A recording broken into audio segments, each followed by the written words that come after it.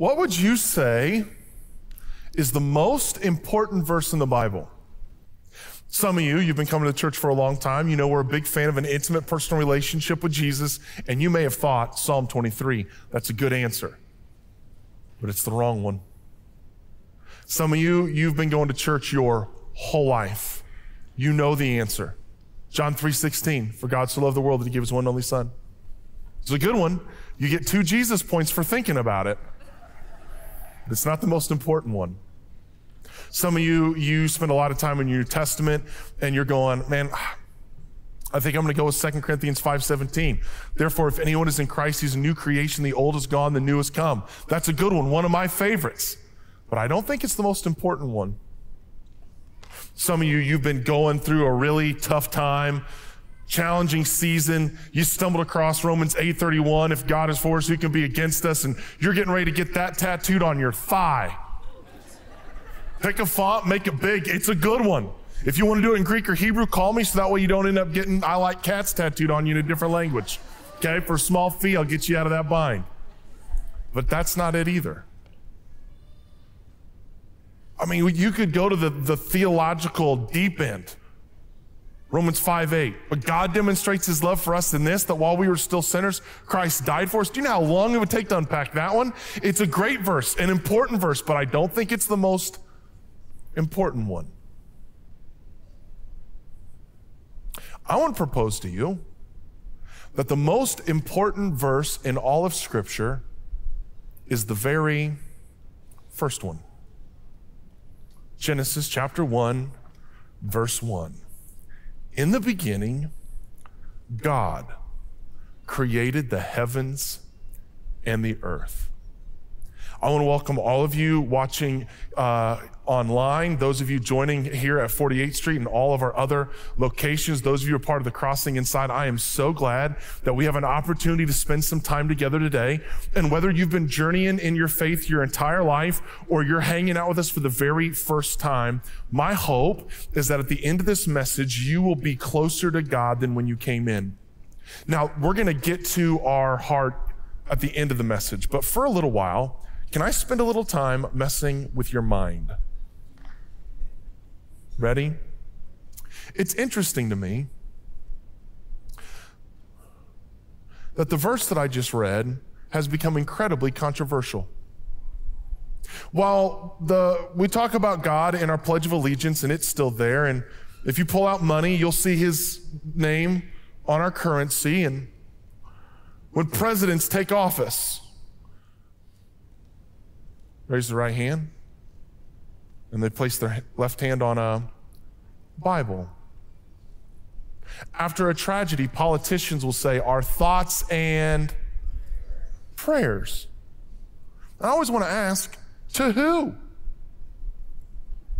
Because a godless narrative has been pushed on us and our children.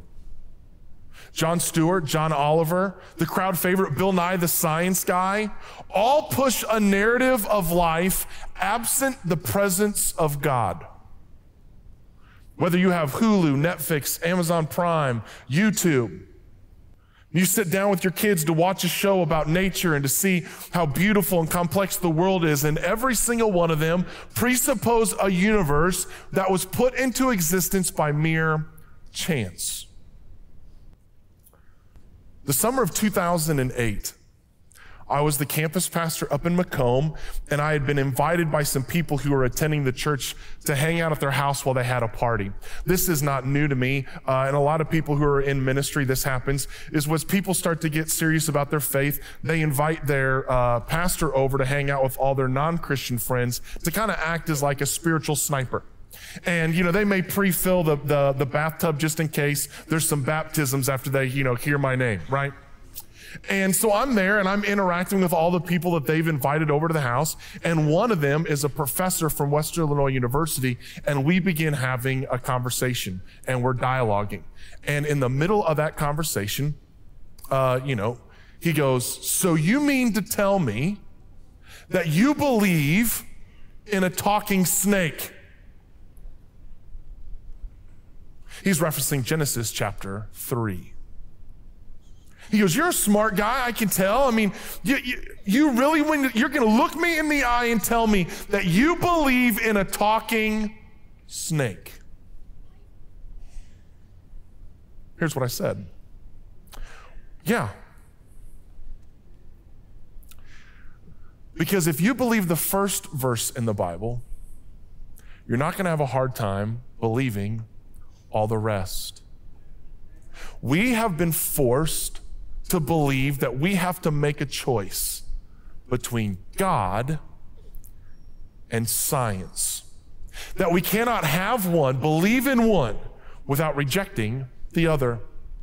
However, some of the greatest scientific discoveries were made by men who had a deep and profound belief and love for God.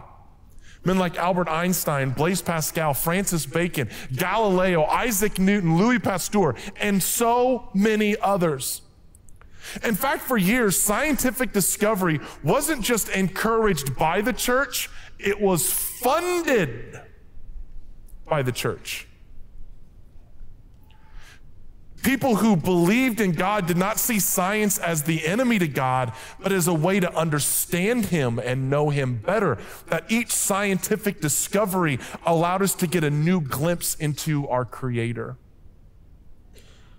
What we are facing is not God versus science, faith versus smart people. Belief versus the ability to read and think.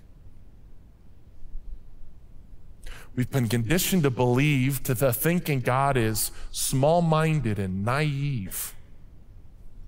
When in reality, what we've actually been given a choice in is to believe in one of two religions.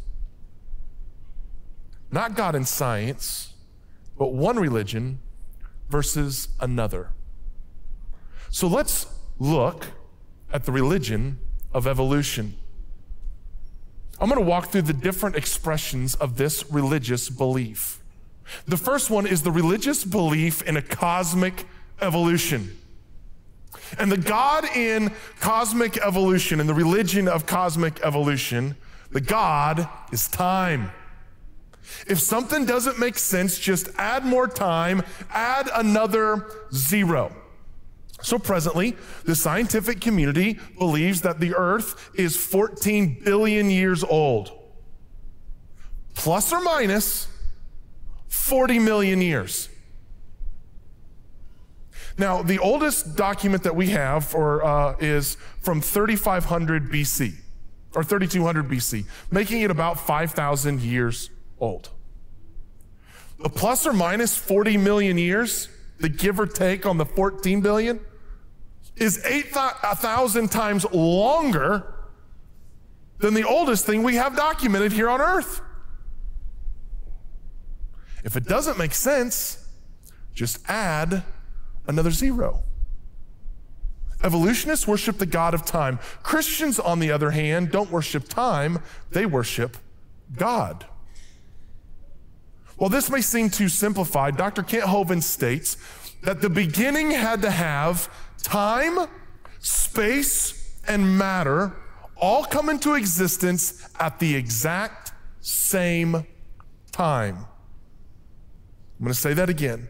That time, space, and matter all had to come into existence at the exact same time. If they didn't, you would have a mess on your hands. Let me show you the mess. If you have time and matter, but you have no space, where would you put it? If you have space and matter, but no time, when would you put it? The Bible solves this in the first 10 words of the Bible. In the beginning, God created the heavens and the earth. In the beginning is time. God created the heavens, that's space, and earth, that's matter. It gets deeper than that. We're going a fun little field trip. God is triune. You've heard us talk about the Trinity God the Father, the Son, and the Holy Spirit. What you have here in creation is the Trinity God the Father, God the Son, and the Spirit, who all participated in the creation, making in the first 10 words a trinity of trinities appear. In the beginning, time, past, present, future. God created the heavens, length, depth, width, and the earth, matter, liquid, solid, gas. The Trinity make a trinity of trinities in the very first 10 words. Then you have the God of chemical evolution. How do we get all of the elements? How did these elements come into existence? An evolutionist will push the Big Bang. However, this creates at least two major issues at a very simplistic level, reasonable questions that anyone should ask. The first one is what banged? What banged? What was the thing that exploded? What was the outside force that created the explosion? What banged? And how could it be so big? You know what we call this? Those of you around here, this is our chicken or the egg problem. Did the elements cause the bang, or did the bang cause the elements? And if the elements caused the bang, then that wasn't the beginning. What created the elements? Secondly, they're proposing that out of an explosion came unprecedented order. And if someone holds to this belief, tell that fellow to go home to his wife and use that same discipline for their house remodel. Babe, you want to do some, some new wallpaper? Or you want to get rid of the wallpaper and we want to paint? New curtains? New trim? New flooring? New lighting? I love it. We're just a small stick of dynamite away from a brand new room. And after the explosion, you're going to be tempted to think, this doesn't look right. But give it time. How come that doesn't make sense to anybody? But that is our solution that's pushed on us as scientific evidence for our existence. Science even admits that this is a theory that cannot be proven. Then you have planetary evolution, the religion of planetary evolution. This is the origin and the alignment of the planets and stars. Now, Earth, as it orbits the sun, is at a tilt of 23 degrees. And it is rotating at a thousand miles an hour. If it only rotated at 100 miles an hour, our day would be 10 times longer. The summer sun would burn up all vegetation on earth. The winter nights would be unbearably cold. For instance, the moon, it's a moon day or a lunar day is 15 earth days and its temperatures range from a high of 214 above zero, which I've been told is hot, to negative 243 degrees below zero, which I'm guessing is quite cold. Or how about this one? If that's Earth, and for this sake, pretend that my head is the moon, averages about 240,000 miles away from Earth. If it were only 50,000 miles, the gravitational pull would be so intense on our waters that twice a day, the entire face of the earth would be covered in water, which is one way to get your kids to take a bath. But it's a hard way to develop the necessary ecosystem for life. Or how about the atmosphere that covers our earth? It contains 21% oxygen. If it contained 50% oxygen, one lightning strike would cause a forest fire that would destroy all vegetation. If the oxygen level was only was less than 10%, we'd have no fire at all. Or how about this one? When water uh, freezes, it expands while almost all other substances contract. That's why in the winter months, I look so skinny. In the summer months, I don't. It's because water is one of the few things that when it freezes, shrinks or expands. And when it does so, it becomes lighter than water. And so it sits on the surface. If it behaved the way almost every other element behaved, what you'd have happen in the winter months is that all the lakes and streams and ponds would start to form ice and it would sink and would push all of the life that's in the waters to the surface where they would die. Instead, the ice forms a barrier on the surface of the pond and lake, creating a thermal barrier allowing all of the water life to exist. Pretty unique. Almost seems planned for those of you who like shrimp, catfish, bass. I don't know how you say it, crappie or crappie, depending on where you're from. There should have been an amen there. How about this one? The northern hemisphere is composed primarily of landmass, while the southern hemisphere is composed primarily of water. And land heats up more quickly than water does. And since we are always tilted this way, when Earth is in its orbit and it comes the closest point it is to the surface of the sun, guess what season that is for us in the northern hemisphere? Winter.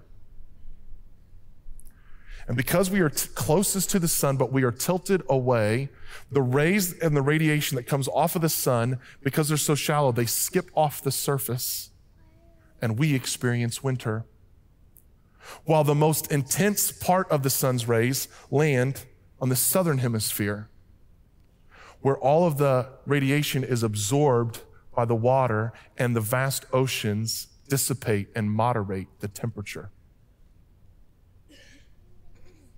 If it was the exact opposite,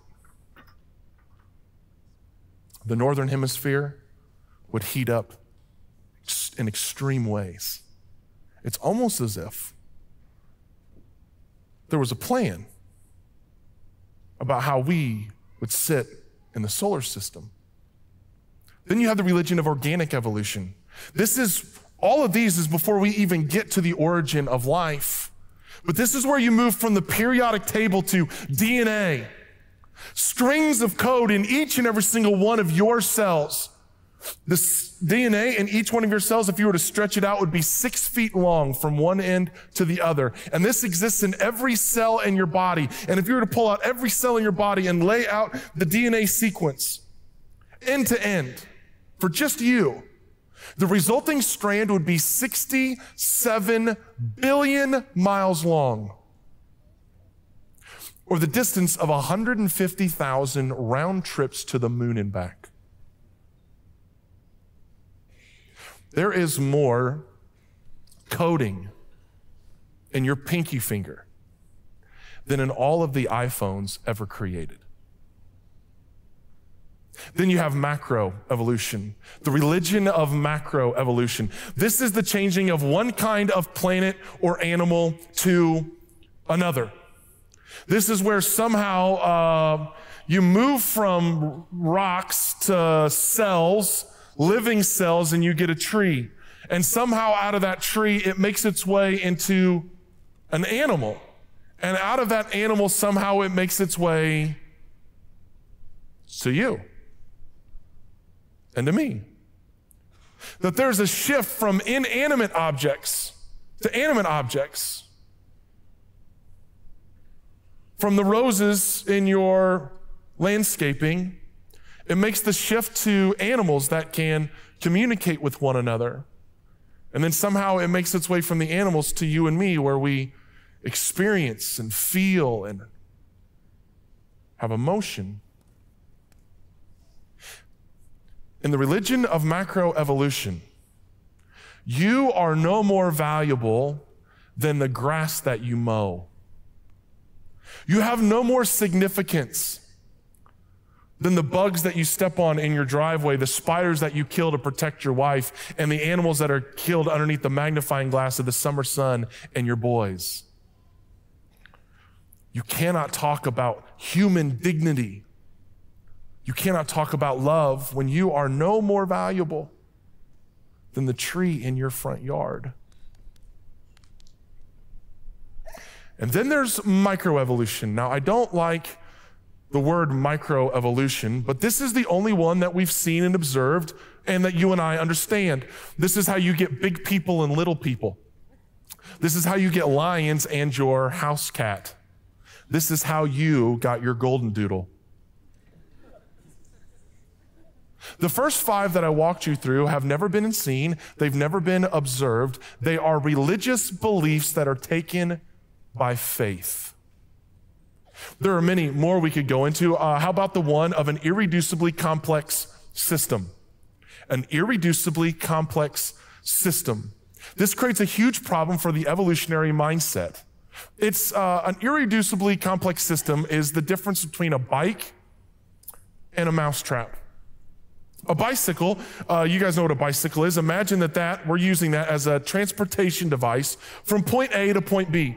And we have to ask ourselves, can we take anything off of the bike to, and it still perform its function? And the answer is yes. First thing we can take off the bike is the grandma basket that you have mounted on the front. Take that off, get rid of it. We don't need it. Can we still get from point A to point B? And the church said, yeah. And then we're going to take the bell off that your mom put on there because she wanted you to be able to warn everybody in case something bad happened. Can we take the bell off and it still get us from point A to point B? The answer is yeah. How about this one? Could we take off the front tire? Yeah.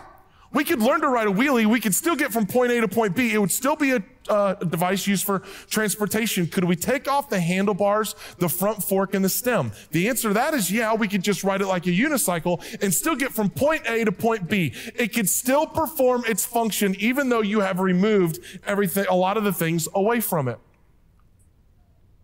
But mousetraps? You can't take anything away from a mousetrap. A mousetrap is comprised of five things. In fact, every mousetrap that you've ever used has these five things.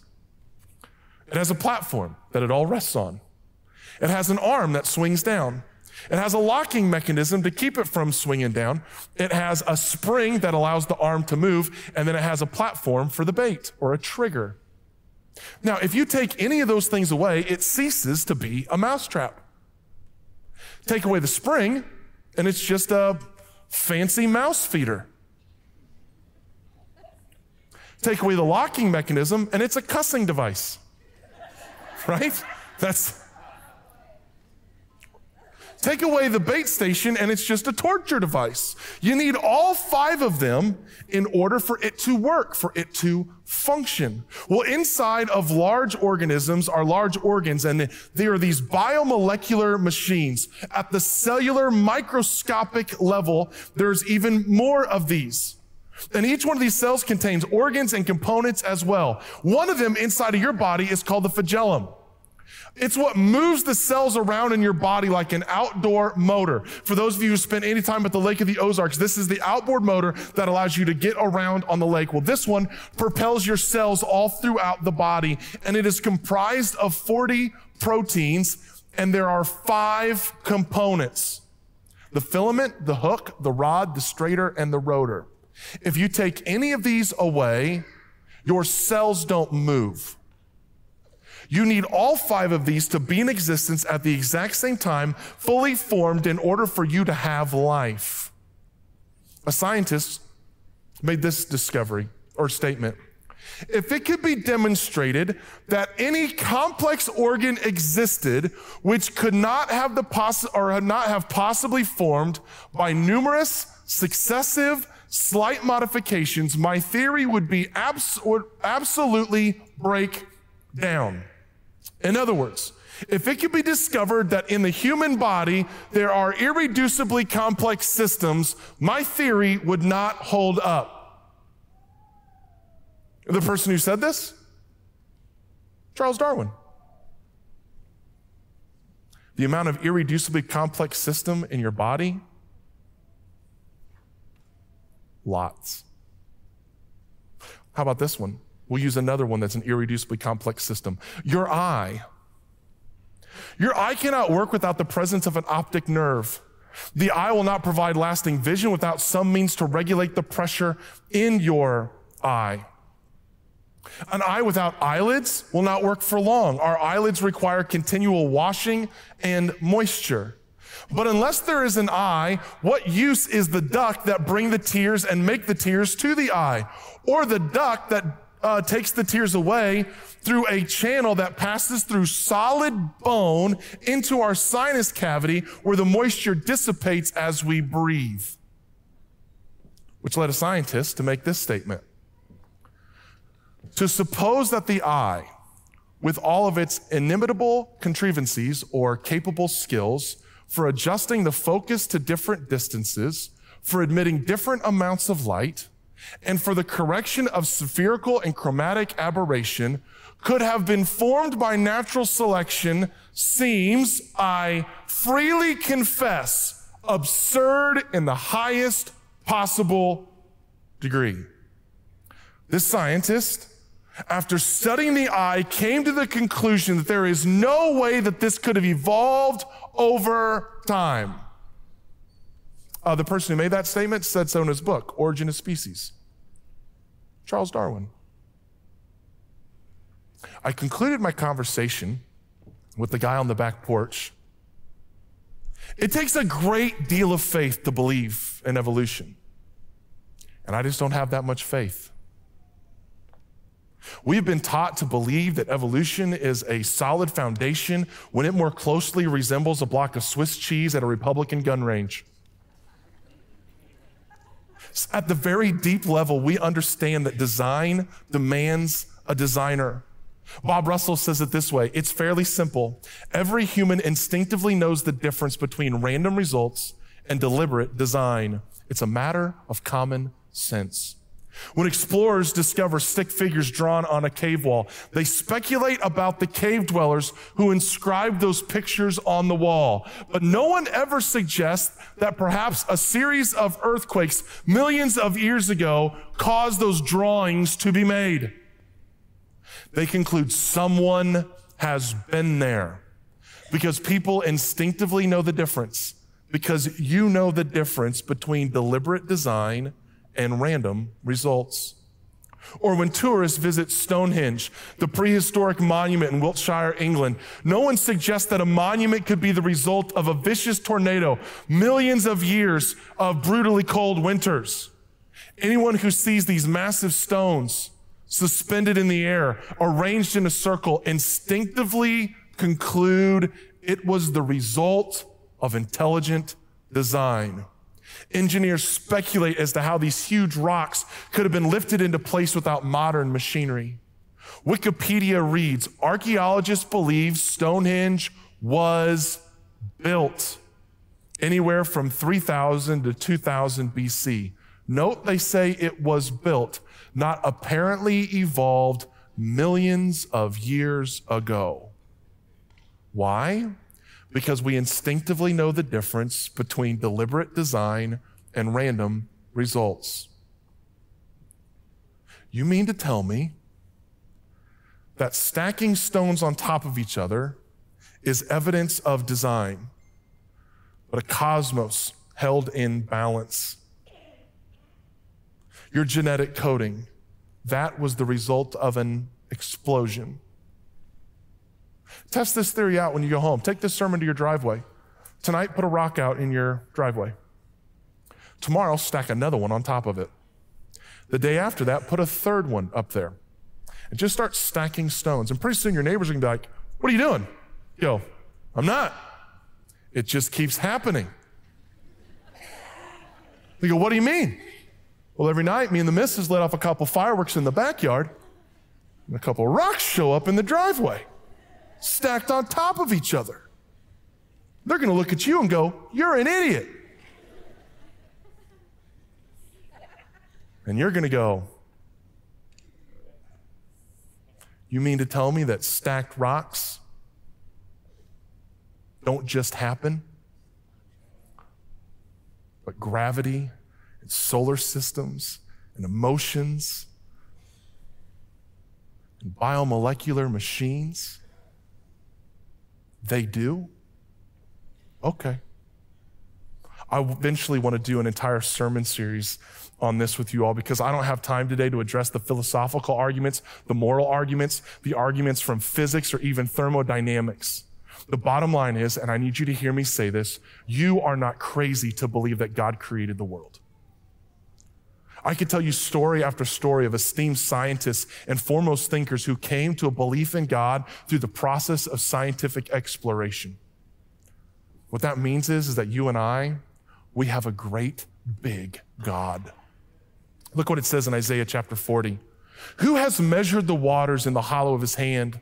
Or with the breadth of his hand marked off the heavens? Who has held the dust of the earth in a basket or weighed the mountains on the scales and the hills in a balance? We serve a big God. If one foot were to represent a million miles, and we were to go to a baseball stadium and we were to put a basketball on home plate, that would be the sun. 93 feet from there would be another basketball, and that would be Earth. And 484 feet in deep center field would be a ping pong ball, and that, that would be Jupiter. If we were to take that entire baseball field and we were to move it all the way to the west coast in New York City, and then we were to fly all the way to California, hop in a boat, and go out into the Pacific Ocean, 4,880 miles from home plate, we would come upon another basketball. This would be Alpha Centauri, one of the nearest stars to our sun. 4,880 miles, where one foot equals a million miles. The Bible is telling us that God is big enough to hold oceans in the palm of his hand. When you finish brushing your teeth and there's no uh, cup next nearby, you scoop your hand under the water and you pick up two or three ounces. When God scoops his hand in, Pacific, Atlantic, whatever the other ones are called.